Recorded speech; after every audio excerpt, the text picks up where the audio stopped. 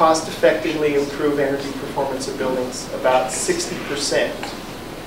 And we aren't really using any new technology in, in the building doing that. The new technology we're using is building performance test equipment.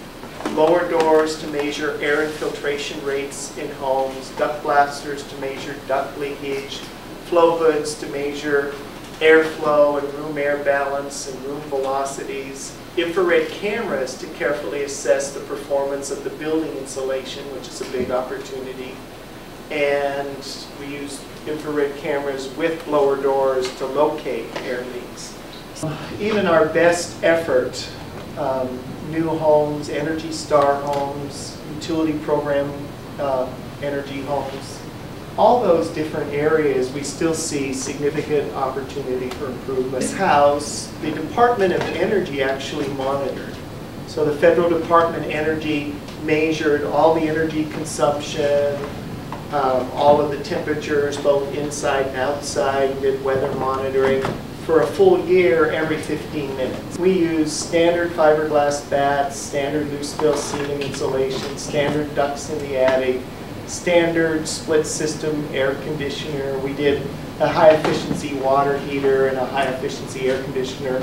And we were able to get the heating cooling costs for this new building down to about 9 cents per square foot per year, about $320 a year. We carefully provided a good draft stop. We carefully installed the ceiling insulation.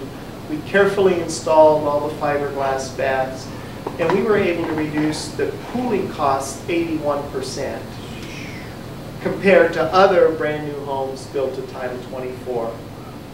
Uh, the heating costs 49%.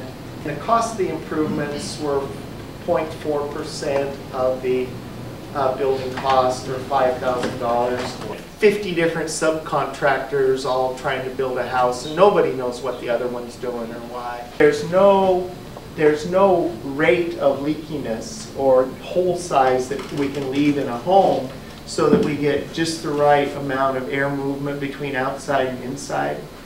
Um, and the reason is, is what, what makes air enter a house is like the wind, for example. So if we decided that on a mild day to get just the right amount of fresh air in our house, we'd leave the window open two inches but on a cold, windy day, that two inch crack would give us a hundred times more cold air than we want or need.